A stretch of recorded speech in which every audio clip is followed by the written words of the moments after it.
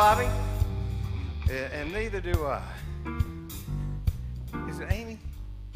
Kim. Kim, come up here. Y'all make Kim welcome. Come here, Kim. I want to introduce you guys to somebody. Come here, darling. Come here, Kim. Kim is from. She just got up just like that. Most girls will not do that for me, but that's okay. Kim, turn around here so I can show you. Kim's been smiling from ear to ear all night long. Kim is a frequent. She comes about every year to the Alabama Theatre. She hasn't been for a couple years, but I wanted to introduce Kim to you.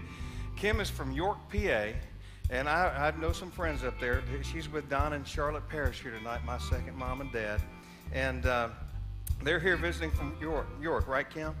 And I thought I'd come down here and dance with you. Is that okay if I do that tonight, Kim? Yeah. Yeah. You're not going to say no to me now, are you?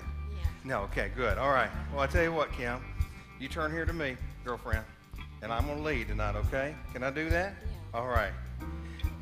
She just says yes a lot. Okay, Bob. One, a two, a one, two, three, go! Oh!